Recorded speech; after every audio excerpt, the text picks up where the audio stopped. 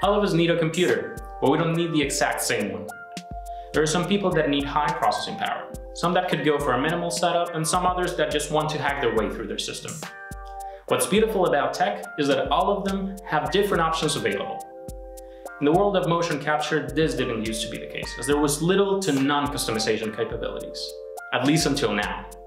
I'm here to present you Chordata Motion, the only open source motion capture kit.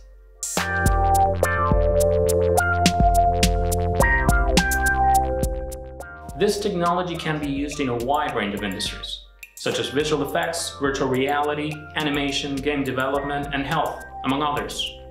We built it guided by the values of the open source community, transparency, reliability, and accessibility. The system is flexible enough so that you can adapt it to any situation, and it will allow you to capture both human and non-human movement. Chordata Motion is so flexible it can be adapted to any software, or it can even be used straight from your smartphone. We count with two beta testing experiences, which granted access to a Chordata motion prototype for a select group of users. We have the strength of creative people making great things. These experiences have taught us that our power relies in our community. We need you in order to make this technology open source with a reliable, accessible, and customizable solution. Each reward will provide access to a Chordata motion kit at a unique price offering available only through this campaign. Make sure to check the reward explanation video that you'll find in the Kickstarter description page.